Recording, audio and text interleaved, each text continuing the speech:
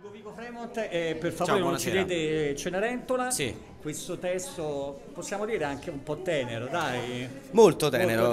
Si parla di un papà. Tu sei un papà, Esatto. un papà vedovo, Vedovo. con due bambini Da 12 anni. da 12 anni e, mm, e c'è questa figura di Cenerentola.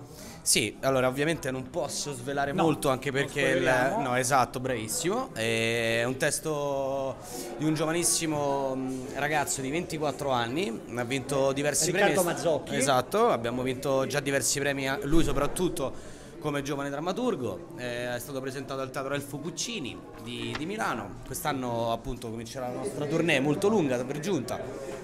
Cos'altro ti devo raccontare? Ehm, credo l'inevitabile pensiero di qualunque papà, papà nel momento in cui Certo. i figli lasciano il nido, un po' pascogliana come immagine, Sì, no? sì, esatto. vero. Solo che c'è un piccolo, diciamo così, Dettaglio. un piccolo dettaglio che è mm, fondamentalmente l'amore che in questo caso è visto da diversi punti di vista. Cerco di mantenere un velo di mistero proprio perché lo Ma spettacolo soprattutto è anche dal punto di vista delle fragilità umane, no? del- soprattutto delle fragilità umane, sì, insomma, cosa la solitudine fa scaturire anche nel, diciamo così, nelle persone che devono affrontare la vita anche da, sola, da soli, senza figli e altro che però non vorrei dire perché Ci ovviamente sarà molto da pensare. è uno spettacolo sì, che induce a pensare ma con un tono di commedia Da- particolarmente leggero. Mm, eh, sottili, Sottile, sottili, sottile. sì, sottili. Bisogna entrare proprio nelle dinamiche insomma, del testo. Sì, bisogna entrare un po' nelle dinamiche del testo, però ti assicuro che è scritto molto bene e, Ti e poi l'entusiasmo con cui ne parli. Sì, no, è quindi- vero. E poi ho dei eh, ottimi colleghi di, Eh, palco e sono molto regia felice. Intanto di Roberto Marfante. Esatto. E tu sei in compagnia di eh, Valeria Monetti, Sebastiano Colla, Susana Laurenti ed Enrico Torzillo. Che fanno i miei figli che sono bravissimi per Eh, giunta. insomma, dai. Quindi sono felicissimo e non vedo l'ora. Sei un papà fuori dal palco e sopra il palco, dai. Eh, prima o poi doveva capitare. H24. Prima facevo il figlio, adesso faccio il papà.